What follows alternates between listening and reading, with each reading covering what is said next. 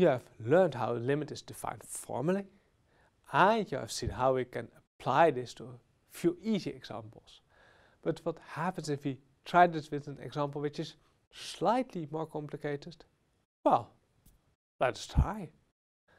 We take the function fx equals x squared f from r to r and we wonder what happens if x approaches 2. So we want to determine a limit from f of x, x approaching 2 and we call this limit L. So that means that we want, given any epsilon bigger than 0, we want to find a delta such that fx is closer to L than epsilon whenever x is close enough to delta. Okay, there we go. Well, first of all, we have to guess what the limit, limit will be if x approaches 2 and do that graphically, for example, and guess that this limit will probably be 4, 2 squared 4. So we guess L equals 4. And then we have to estimate, as always, fx minus L. We have to get that value small. Well, we know f of x, x squared, L, 4, and we can uh, split it, x squared minus 4 equals x minus 2 times x plus 2, like this. And the absolute value of a product is the product of the absolute values. So product x minus 2, x plus 2. And then we see, well, x um, will, will be probably be chosen close to 2. So this x minus 2 well, is going to be our small quantity. But we also have to take care of this x plus 2 over there. First of all, I say, well, we choose our delta, we choose it at most equal to 1. That's the first condition. And why is that? That's in order to take care of this second factor here. Because if uh, uh, delta is smaller uh, or equal than 1, that means uh, x minus 2, that one, uh, uh, is smaller equal than 1.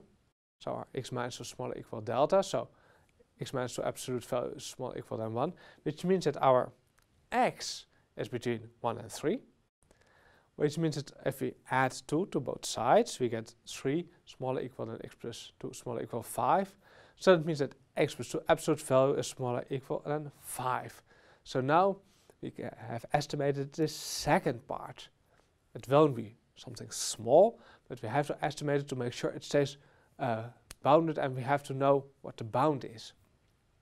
So we know our fx minus L is smaller equal than x minus 2 absolute value, x plus 2 absolute value, and the x plus 2 absolute value is at most 5 times absolute value of x minus 2, and absolute value of x minus 2 will be smaller than uh, delta, so we get fx minus L smaller equal than uh, 5 times delta if we choose delta uh, less than 1. So, how are we going to choose our epsilon? Uh, we choose our delta such that uh, delta is the minimum of epsilon over 5 and 1. So it means that the, this condition over here is satisfied because we choose our delta as the minimum of those two. So suppose someone gives you an epsilon of 10, then 10 over 5 equals 2. So then the minimum of 2 and 1 equals 1, and we choose our delta to be 1.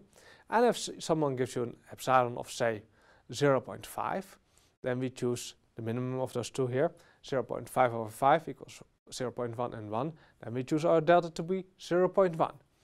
So uh, we know for sure that uh, if we choose uh, our delta like this, that our delta will be less or equal than 1, so this condition over there will be satisfied. And why this? Well, we had our fx minus L was smaller than 5 delta. Delta is the minimum of epsilon over 5 and 1, so delta is smaller than or equal than epsilon over 5. So 5 times delta is smaller than epsilon. So if we choose our delta like this, then our fx minus L will be smaller than epsilon for an arbitrary epsilon, which means that our limit uh, equals L which, have, uh, which we took as L equals 4.